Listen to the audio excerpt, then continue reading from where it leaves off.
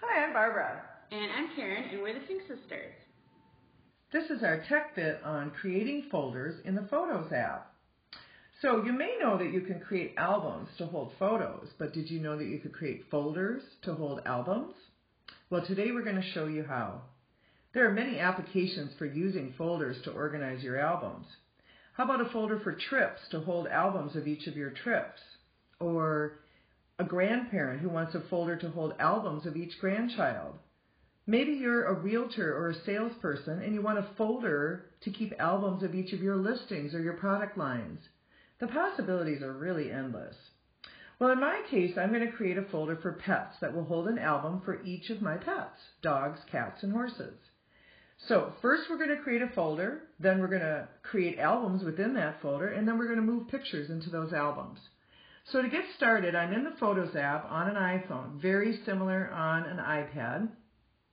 Things might be just a little bit more spread out because of the bigger screen.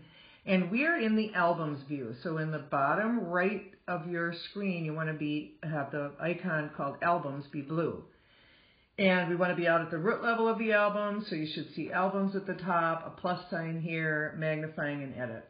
And here's the plus sign. Now, if you just tap on the plus sign, you're going to get a dialog box come up and say new album, enter a name for this album. That's how you create a new album. But we're going to tap and hold on it, and it's going to come up down below saying new album or new folder. And that's what we're going to pick here. We're going to name our folder pets and save it. And now you can see in my albums view, I have a folder called pets. I'm going to go into that folder and we're going to add some albums inside here and get organizing. Now we don't see a plus sign at this level. What we have to do is go into the edit mode. So we're going to tap on edit in the upper right and now our plus sign appears. Tap and hold the plus sign and it says new album. I'm going to type in the first one which is dogs. Save. And it's going to come up and ask you to add pictures right now to the album. So I'm going to tap on the pictures that have uh, dogs in them. Oops, that's a cat.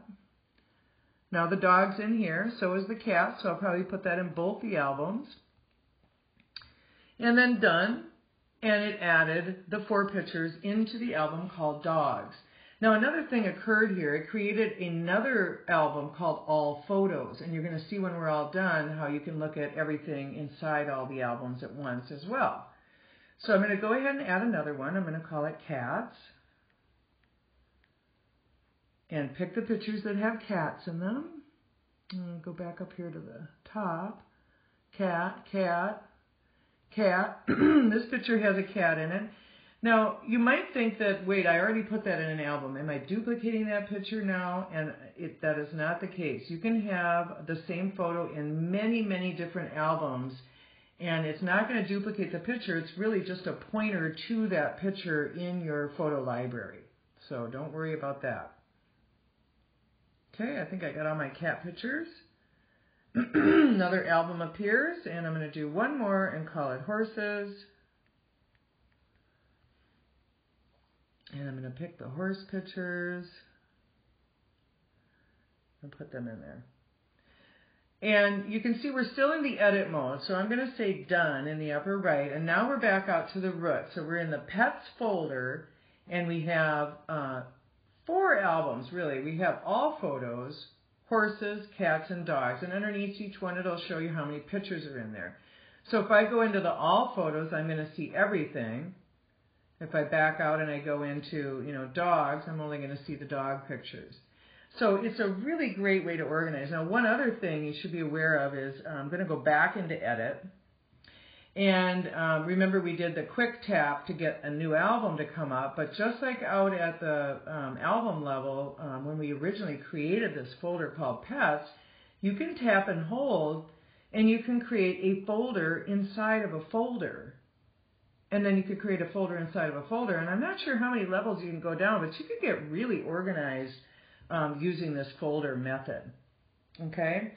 Now, another thing you should know is if you have existing albums to move into this folder, Unfortunately, there's no way to do that on iOS right now. Um, if, if somebody comes up with a great way to do that, please let us know in the comments down below. Uh, but if you're using your iCloud photo library and syncing everything across all your devices, you can make those changes on your Mac and they'll reflect on your iPhone or iPad. So that's how you create a folder to hold albums or other folders in the Photos app on your iPhone or your iPad. It's a great feature to help you organize all your precious photos. Thanks for watching the Sync Sisters Tech Bit. And please subscribe to our channel.